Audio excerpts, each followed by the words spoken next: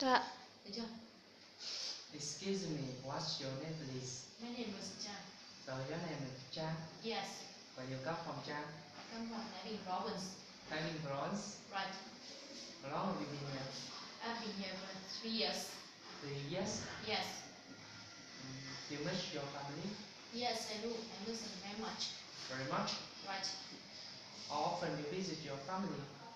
I visit my family once a month Once a month. right Who do you usually go home with? I usually home alone Alone?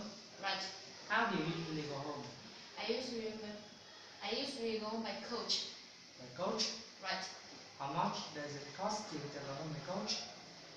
it costs me about eighty thousand dollars on by coach 80,000. right How far is it from here to your house? it's about 100 kilometers from here to my house 100 kilometers. yes How long does it take you to get there?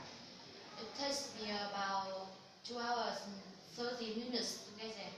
2 hours and 30 minutes. Yes, How many people are there in your family? uh, there are five people in my family. My father, my mother, my two sisters, and I. Your father, your mother, your two sisters, and you? Right?